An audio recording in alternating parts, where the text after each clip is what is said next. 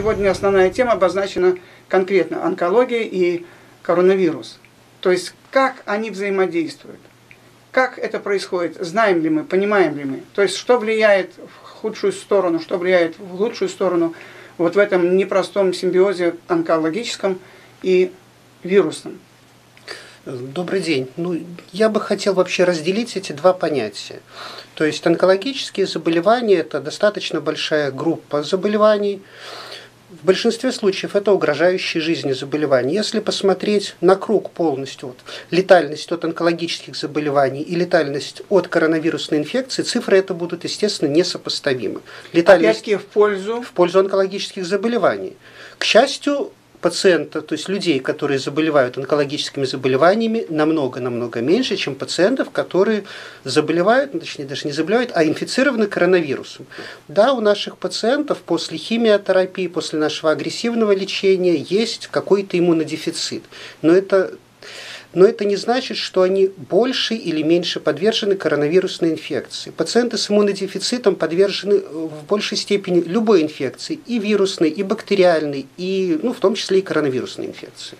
Возникает вопрос, вот как отличается лечение онкобольных вот в эту пандемическую в этот пандемический период и отличается ли в принципе все-таки? Есть пациенты, которым проводится лечение, направленное на излечение от заболевания. То есть либо это радикальное хирургическое лечение, либо это послеоперационная химиотерапия, лучевая терапия.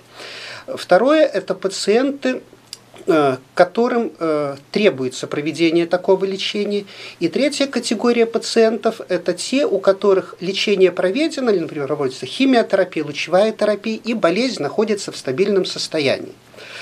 И э, весь упор сделан на то, что пациенты в период вот этой ну, пандемии коронавируса, которым требуется лечение от онкологических заболеваний, Э, максимально должны получать амбулаторное лечение, чтобы у них был меньший риск э, э, инфицироваться.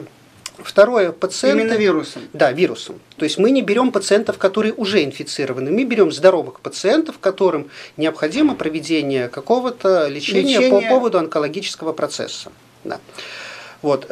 Первое – это максимальный перевод на амбулаторное лечение. Пациентам, у которых заболевание стабильно и, например, на фоне химиотерапии, лучевой терапии достигнута стабилизация заболевания, можно отсрочить это лечение. Вот. Ну и тем пациентам, которым, требуется радикальное хирургическое лечение, либо химиотерапия, лучевая терапия, при отсутствии признака вирусной инфекции это лечение проводить. Для наших пациентов слово «рак», оно в большинстве случаев звучит как приговор. Хотя это не совсем так. Если пациенту устанавливается диагноз злокачественной опухоли, он э, считает, что ему надо быстрее и быстрее начинать лечение, но к счастью, все опухоли, они не одинаковые, они разнородны. Есть быстро растущие опухоли, где лечение надо начинать быстро. Есть медленно растущие опухоли, которые без нашего лечения, их естественная история развития исчисляется годами. Часть пациентов, которым было необходимо проводить срочные операции, они были перенаправлены в РНПЦ онкологии, которые работали в штатном режиме.